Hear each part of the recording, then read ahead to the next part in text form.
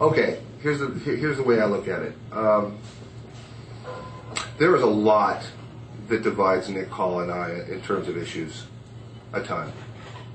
I would prefer to stick to that. We do have people in our parties, and we do both of us have people and pressures that will try and uh, encourage us to um, take shots at each other that perhaps are away from the issues or away from those those questions of experience. Uh, I will do my absolute best to keep those wolves at bay.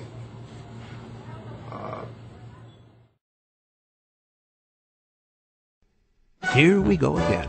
Downtown Portland has found their man to replace Karen Minnis for the state legislature. His name is Nick Kahl. I will do my absolute best to keep those wolves at bay. Nick Kahl is a second year law student, a member of the alternative jazz band Chop Slaughter, To keep those wolves at bay. a downtown liberal from the sticks. Keep those wolves at bay. A downtown liberal from the band Chop Slaughter?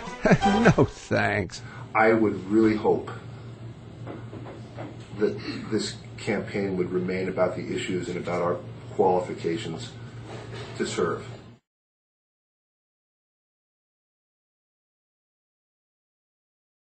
To keep those wolves at bay.